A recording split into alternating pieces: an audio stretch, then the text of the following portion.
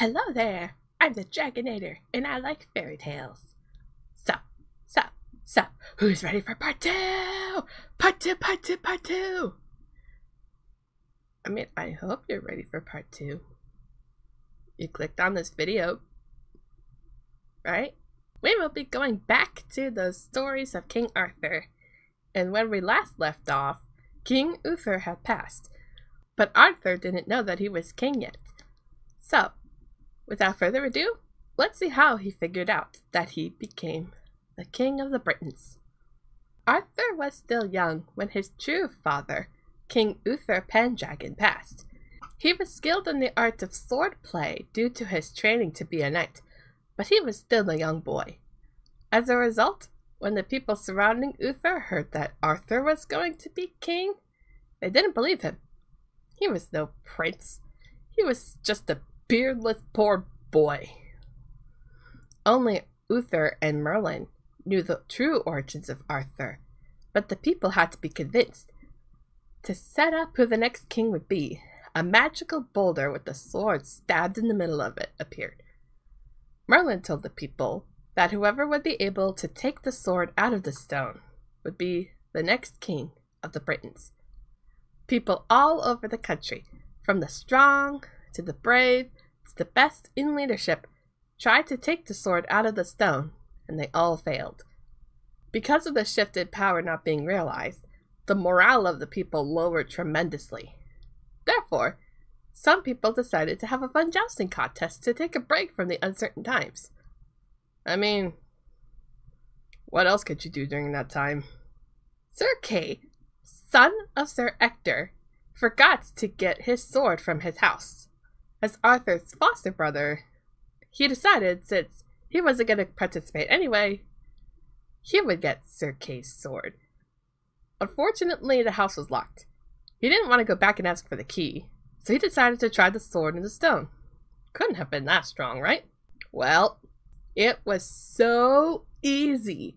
He was shocked that obviously stronger people couldn't get the sword. At first, Sir Kay said he would be king, but Arthur told the truth of what happened. The family put the sword back in the stone, and when all the family tried to put the sword back out, Arthur was still the only one able to get the sword. The family and Merlin told him the truth about his origins, and all over the country Arthur proved that he was to be king. A lot of important figures still couldn't believe it. They delayed his coronation over and over and over and over until the middle of spring. Finally, he was crowned King of the Britons. That didn't stop many of those important figures from wanting to commit treason. Arthur looked at the sword he had, and he said he needed a new sword, one that would strike fear in the hearts of his enemies. Merlin had an idea. Arthur followed Merlin to a lake, and in the middle was a woman clothed in white. She was the lady of the lake. She held the sword for Arthur, and she asked for something in return at a later date. This sword would be later known as Excalibur. Not all the kings in the area were against King Arthur. To help fight back against those who would commit treason, Arthur was able to recruit those kings to his cause, who recruited their own men to help King Arthur's men.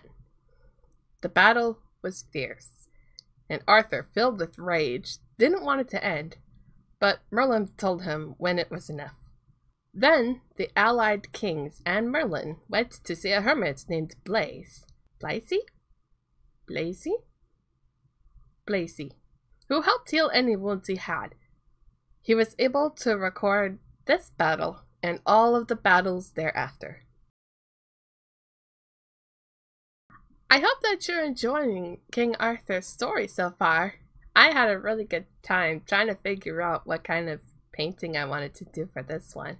I think I'll keep it going next month and maybe August, but I do have a surprise in September. Either way, stay safe and have a very good rest of your day. Bye!